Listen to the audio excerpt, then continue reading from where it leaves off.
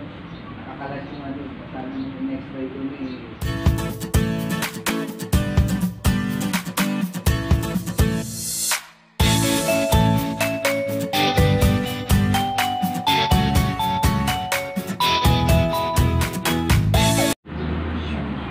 Yo, good morning guys. So, welcome back to my channel. So, kung hindi pa kayo nakasubscribe, ah, subscribe na lang kayo. Saka like, saka pakishare na lang din yung video natin.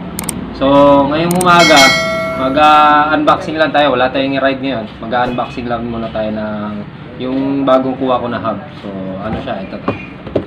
Ah, ito. Saturn Dion 2.0.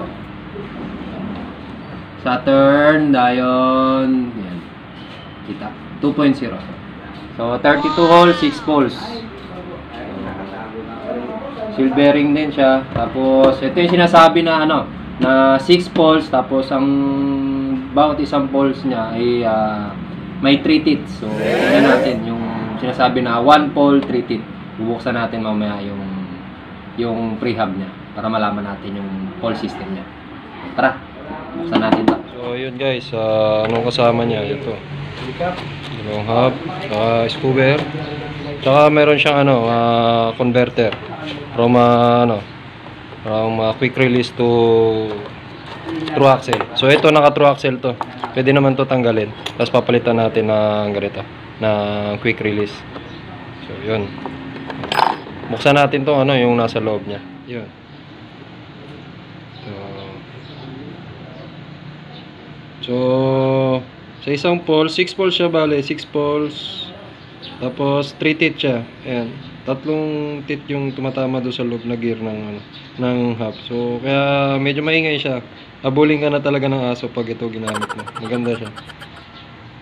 Ayan. 6 poles siya, tag 3 teeth. Ayan. Diba? Astig siya. Astig yung poles niya.